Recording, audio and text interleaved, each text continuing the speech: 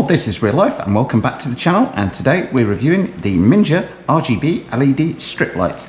Estimated running cost just $2.17 per year, 560 aluminums. So what are we getting for our money? Well, first of all, we've got our LED control unit which looks to have a wide range of functions on it. A strip of LEDs itself. I was going to say this appears to be the transformer, but it's actually called the controller for the LED lights because here we've got a main power transformer. I shall measure out that uh, length of lead in just a second. Now, while we've got some little clips and some screws in there, to need to read the instruction manual to find out what they're for because the LED lights already appear to have got 3M double-sided tape on the back of them. Another little mini adapter here to do with the uh, power controller, alcohol preparation pad, a user manual, warranty and EU disclaimer, but most of the point, here we have what appears to be our quick start installation guide. Now, I'm quickly going to talk you through the installation steps of the Minger LED strip lights using the little quick start guide that they've got here. There's a fully detailed instruction manual, which I'm going to read at length because that details what all of these buttons do on uh, the LED controller here, but I think it would be far better if I can fit these to my daughter's bedroom and give you a practical demonstration of just how to install and control the Minger RGB LED strip lights. Now what it says on the card is you need a dry, clear and smooth surface. So you're not going to be able to fit this to textured surfaces, you're not going to be able to fit it to dirty walls, and you're not going to be able to fit it to frosted, frosted glass, but I guess normal glass will be okay. It says warm the tape on here with a hairdryer when it's below 10 degrees centigrade or 50 degrees Fahrenheit. So I'm in here in Northern California today. Is, believe me, it's more than warm enough, more than above 10 degrees on here.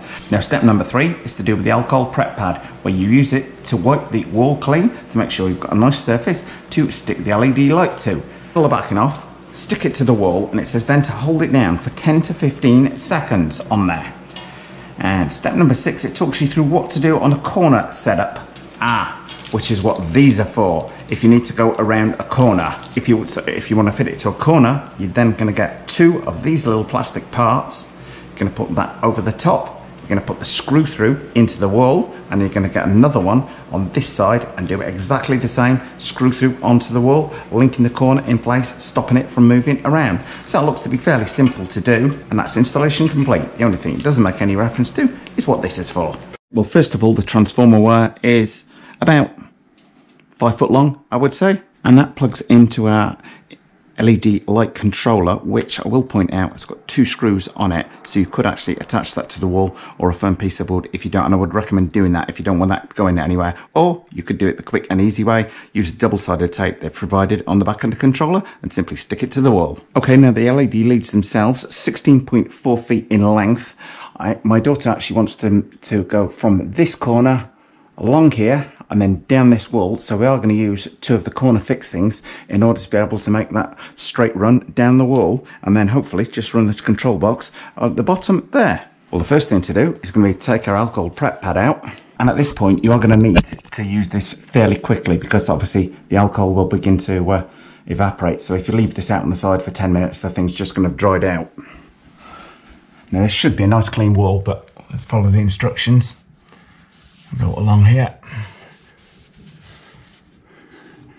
Also, I think this is only a fairly small pad for doing a 16 foot run personally. But if you've got a nice clean wall like this one is then you should be absolutely fine so it looks to be nice and simple. If you've got fairly nice clean walls then you might not even to do need to do this. Now the first thing to do unwind your leds right until the end of the length on here but stretch it out or get somebody to pull it away from you very gently in order that you're not getting any knots or binding up over itself.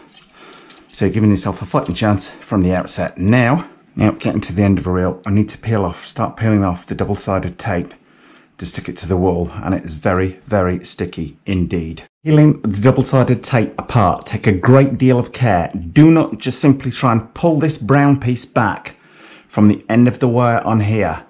You need to peel it apart at the top because it has a clear strip so it looks like that so that this bit is sticky to the touch. If you're pulling this back and only this is sticky to the touch and not this, it means this piece of tape is still attached to it.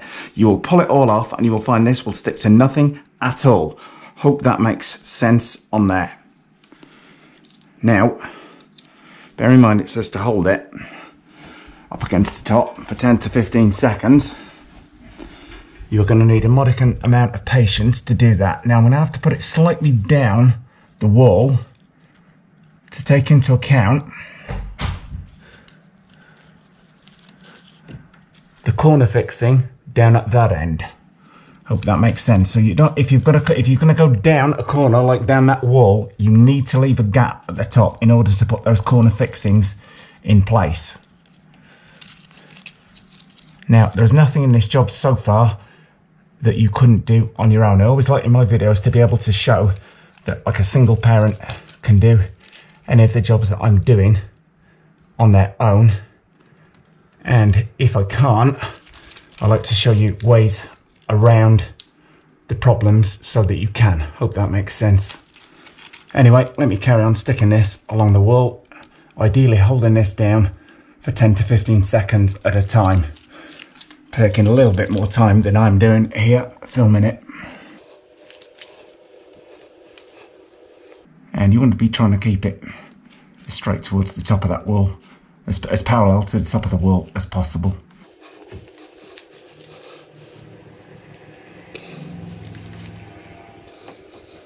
Sticking pretty well to the wall actually. Not looking bad.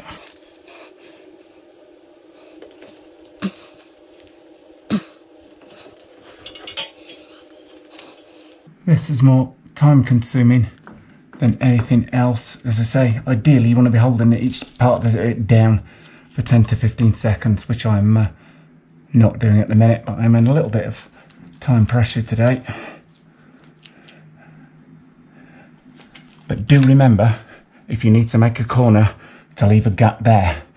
If you only realise when you're at this end and you've got it flush to the ceiling, you're going to have a problem getting it to come down the corner. But just take your time doing this part of the job and that should ensure that it'll run straight along you parallel with your wall and not be at an angle. The one thing being when you peel the tape off be very very careful because it's obviously going to stick to any paint. It's fairly uh, good double-sided tape. Now the tricky bit is going to be when it comes to this corner.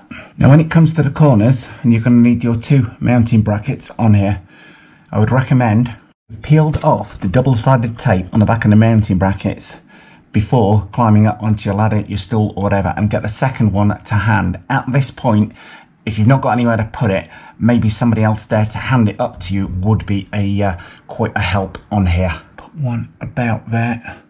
This is the first time I've done this, so a little bit hit and miss on that, but all being well, it will work out well for people. Just tucking that on the side there. Now for the tricky bit, because we're coming back on ourselves over the top there.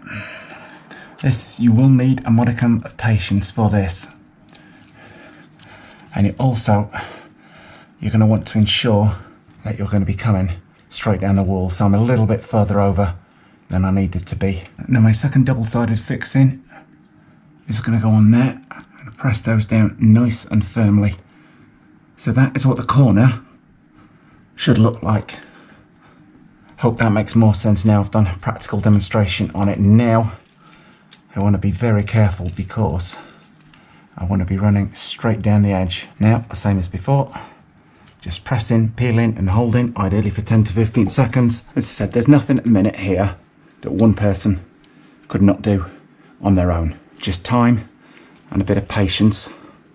And I'm not always the most patient of people but hopefully I can be when showing people what to do in this type of video. You need to keep pulling the tape back on there, pull maybe six inches at a time on there so you're not getting too big a piece to work with. Pull another six inches back, pull that down, and I think, all being well, we're going to have just enough, and I'm not going to have to go around the corner at the bottom.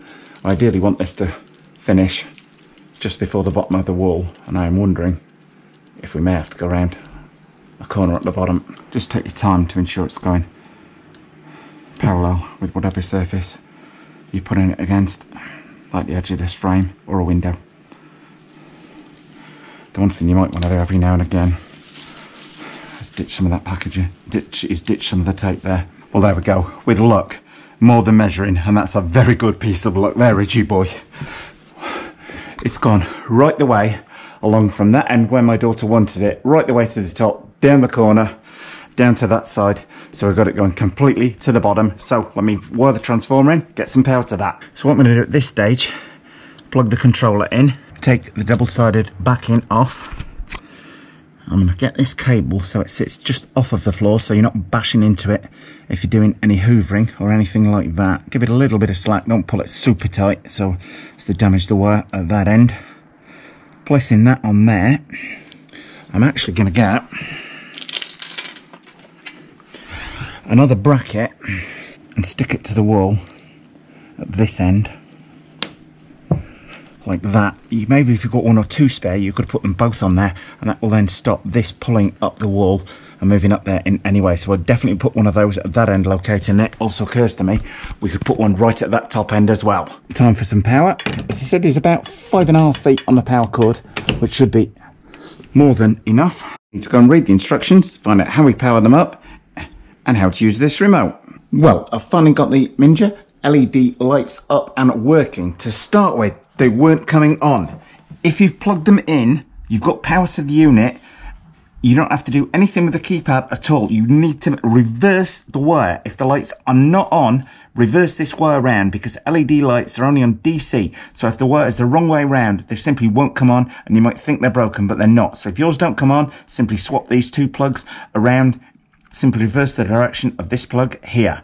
Now when it comes to controlling the lights, you can set them very, very easily using the control pad on here. Various different colours, which I can leave you to play around with. Uh, you leave your children to play around with to their heart's content. Got, we've got various different programming options on here. Flashing, which would drive me crazy after a while. You can only seem to flash them in white. Press auto and that flashes between the different colours in there, giving you like a disco effect. We've got fade. I believe they're just going to fade on and off in between the different colours. That's quite nice. Hopefully that's coming out well on camera. And as I say, you've got lots of functionality on the control pad, but I will leave it. But if you get these, I would recommend simply playing around with it. The instruction manual, well, it's quite useful. It's in incredibly small print on here. You can dim the lights. You can increase the brightness of them using the buttons on here. When you're done, all you've got to do to hit the on up, turn them off, is hit this switch here. Well, I hope you like my review and installation video of the Minger LED strip lights on there. Very, very easy to assemble. My only note would be if the lights, LED lights don't come on and you've got everything powered up on there, simply reverse that cable down there. But all in all, I have a feeling my daughter is going to love this. Hours of fun to play around with and they're fairly easy to turn off when you get to the end of the video like this. Well, thumbs up if you like this video, guys. Post any comments you might have in the comment section below the video and hit the circle below to subscribe. And if you do hit the circle, don't forget to hit the bell.